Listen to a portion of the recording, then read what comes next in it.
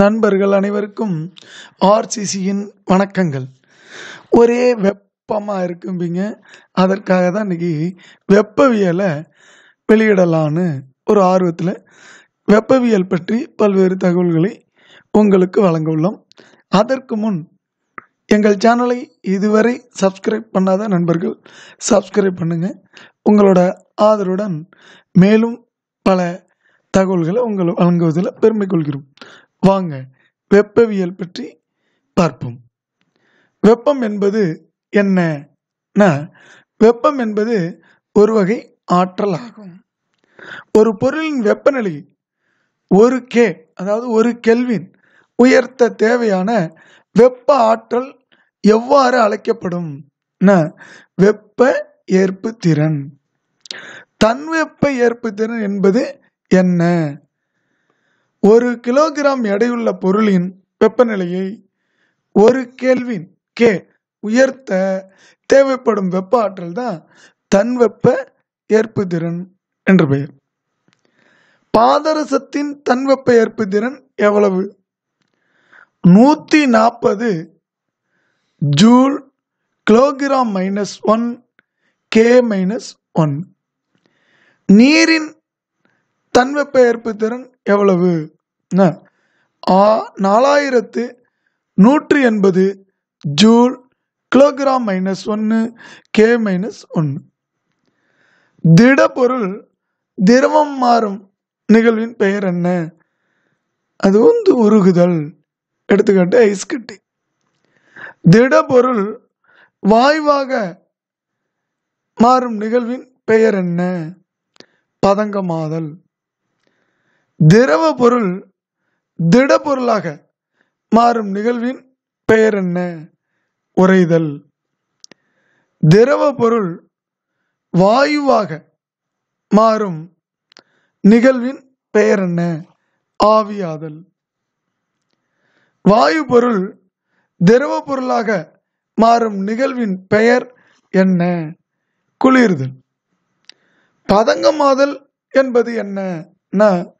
இந்த பதங்கமாதல் கூடிய பொருள் அந்த திடப்பொருள் திரவமா மாறாம நேரடியா வாயுவா மாறிடும். இதுதான் பதங்கமாதல்னு பேரு. பதங்கமாதலுக்கு எடுத்துக்காட்டு எவை?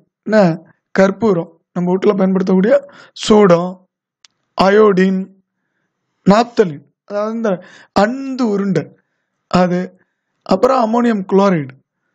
இதெல்லாம் பதங்கமாதலுக்கு எடுத்துக்காட்டு இதெல்லாம் நேரடியாக திட பொருளாக இருக்கும்.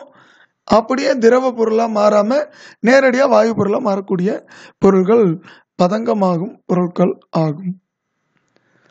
வெப்பநிலையை அளப்பதற்கான அளவை கண்டுபிடித்தவர் யாருன்னா கெல்வின் பிரபு.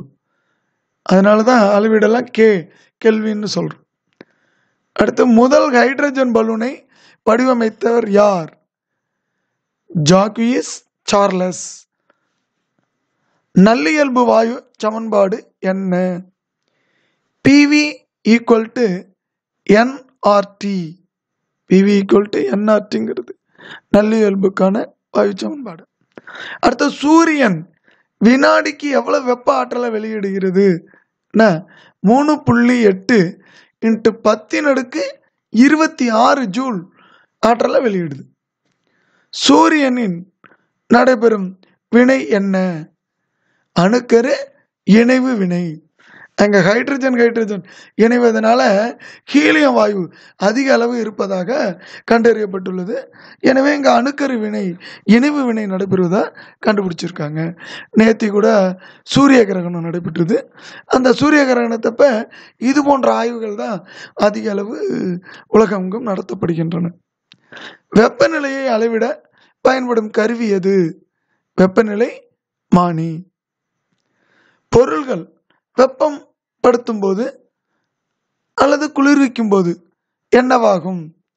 வெப்பம் படுத்தும் போது விரிவடையும் குளிர்விக்கும் போது சுருங்கும். வெப்பநிலையை அளவிட பயன்படும் அலகு எவை?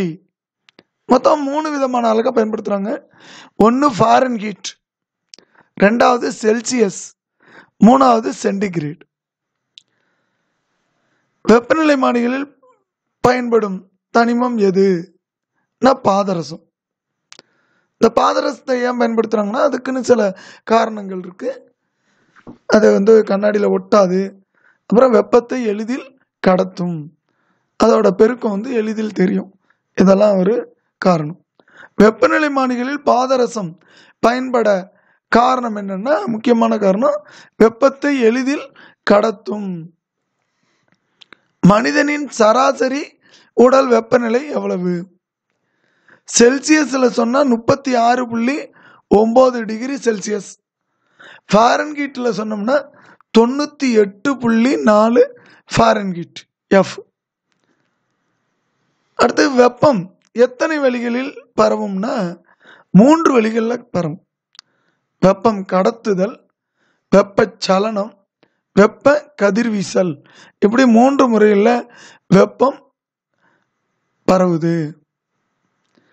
அடுத்த ரயில் தண்டவாளங்களில் பார்த்தோம்னா இடைவெளியில் சிறு சிறு இடைவெளி விட காரணம் என்ன? வெப்ப விளைவு தான்.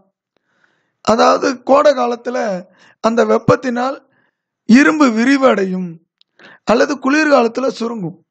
அப்படி கோடை காலத்திலேயோ இல்லை குளிர்காலத்திலேயோ விரிவடையும் போதோ சுருங்கும் போதோ அந்த தண்டவாளங்கள் நெளிந்து போயிடலாம் அல்லது வளைந்து போயிடலாம் அல்லது விரிசல் எட்ட ஏற்பட்டு விபத்து ஏற்படலாம்.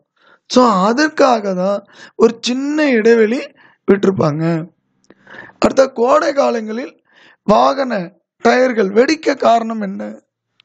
நம்ம நிறைய காத்து இருந்தால் நல்லா வண்டி இருக்கும்னு நினச்சிக்கிட்டு ஃபுல்லாக அடித்து வச்சுருப்போம்.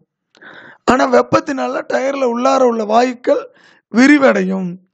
அப்போ அதால் தாங்க முடியாமல் அந்த டயரு வெடிச்சிடுது.